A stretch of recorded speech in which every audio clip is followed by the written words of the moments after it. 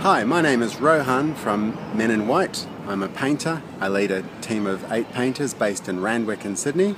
Our point of difference is that we're very clean and tidy. You can see I'm wearing white.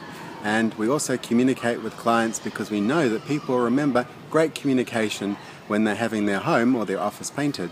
We service the eastern suburbs, the inner west, the city, and the lower north shore. I invite you to have a look at our website or give me a call directly, and I'll come out and I'll give you a no obligation quote on your home or office because we are your trusted painting professional. Rohan from Men in White.